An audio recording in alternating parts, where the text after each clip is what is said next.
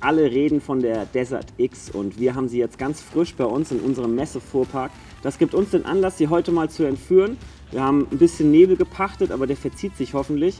Wir wollen ein bisschen Straße fahren, auch ein bisschen Offroad, haben unsere ganzen Produkte dran. Die stelle ich euch im Zuge dessen auch vor. Ein paar Bilder, ein bisschen Video. Ich hoffe, ihr habt Spaß. Auf geht's!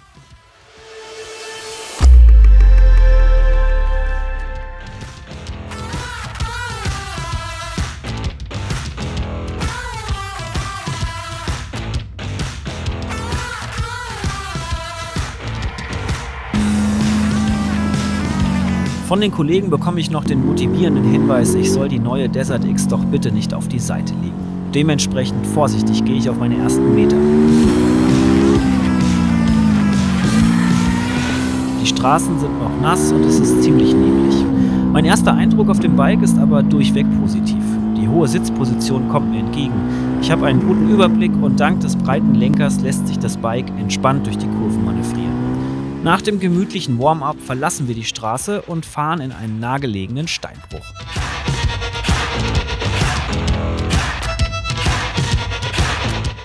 Hier fühlt sich die Desert X sofort zu Hause. Löcher und Steine federt sie locker weg, das Handling ist top und der Antrieb ist bestens für das unwegsame Terrain ausgelegt.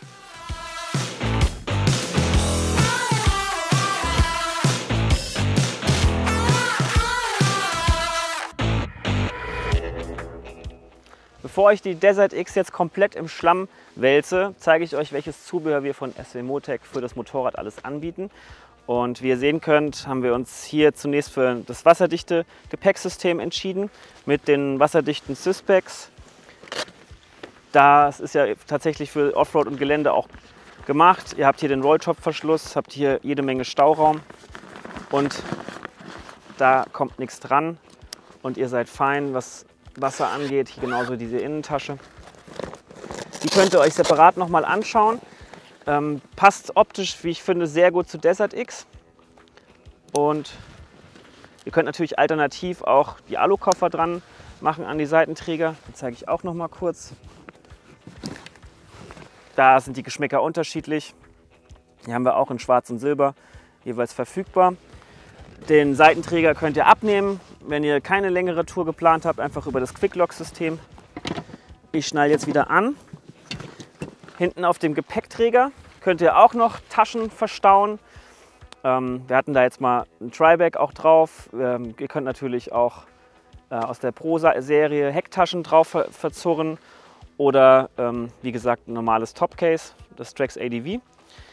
Ich mache mal weiter. Wir sehen hier vorne den Tankrucksack. Ähm, da haben wir, weil der Tankeinfüllstutzen auf der rechten Seite ist, haben wir den Platz auf der linken Seite genutzt und eine Tankringkonstruktion gebaut. Und haben jetzt hier den Pro Yukon auf dem Pro Tankring. Finde ich auch, passt gut. Ich habe jetzt hier mein Handy drin verstaut und innen drin jetzt vorübergehend die Handschuhe und mein Halstuch. Magnetgeckel. Ähm, weiter vorne sehen wir den Sturzbügel. Da habe ich schon mit den Leuten aus der Werkstatt gesprochen. Das war wohl nicht so einfach, weil die Anbaupunkte nicht so wirklich da waren. Das ist jetzt unser Sturzbügel, wie er final aussieht. Sehr langes Stahlrohr, eine dicke und eine dünnere Variante, aber schützt natürlich die Verkleidung bei Umfallern. Ich hoffe, das passiert mir heute nicht, aber wenn, dann bin ich gut geschützt. Wir haben hier unten den Motorschutz. Den habe ich auch schon gut eingesaut. Ähm, ich denke, das macht Sinn. Ich glaube, serienmäßig ist auch schon einer dran. Das ist auf jeden Fall die massivere Variante. Ähm, weiter vorne haben wir noch die Achssturzpads. Hinten gibt es die auch bei der Desert X. Dann gehen wir einmal vorne ums Bike rum. Sehen an den Doppelscheinwerfer haben wir hier noch einen Scheinwerferschutz. Und am Lenker die Cobra Handguards. Hier unten, ganz spannend heute Morgen, ähm, bin ich mit meinen Stiefeln hatte ich wirklich Probleme mit dem Schalten. Da war ich auch noch mal bei den Kollegen. Wir hätten es auch selbst gekonnt, aber so ging es schneller. Wir haben die Fußraste noch mal nach unten verlegt, damit ich wirklich auch unter den Schalthebel komme. Das war am Anfang schwierig. Haben den Schalthebel auch ein bisschen verstellt und so passt es jetzt prima. Auch gleich beim Offroad-Fahren komme ich im Stehen da auch gut dran. Wir haben das Gummi abgemacht, dass ich mehr Grip habe.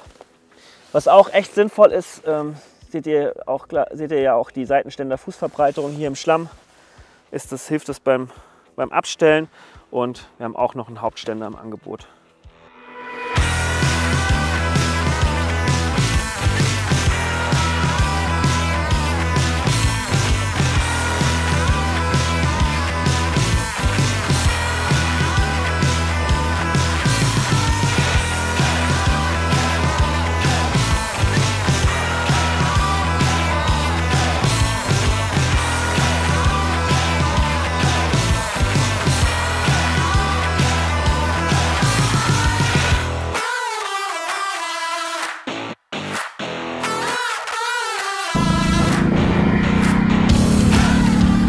Jetzt, wo ich eingefahren bin, wechseln wir nochmal auf die Straße.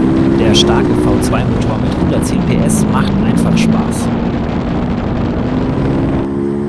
Und trotz des 21 Zoll Vorderrads hat die Desert X ein erstaunlich gutes Ansprechverhalten auf dem Asphalt, auch in engeren Kurven. Wirklich beeindruckend ist auch die technische Ausstattung der Ducati. Schaltautomatik, Traktionskontrolle und sechs unterschiedliche Fahrmodi.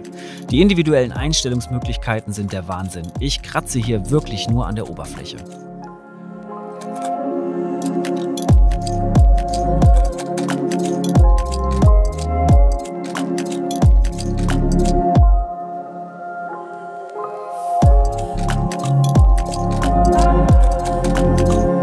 Ja, mein Fazit ist, dass ich den Hype um die Desert X wirklich verstehen kann. Ähm, es ist ein richtig toller Kompromiss zwischen Geländemotorrad und Straßenmotorrad. Wo ich so ein bisschen ins Grübeln komme, ist ähm, der Preis. Für mich persönlich wären jetzt 16.000 Euro für, für ein Motorrad, mit dem ich ab und zu ins Gelände fahre, definitiv zu viel.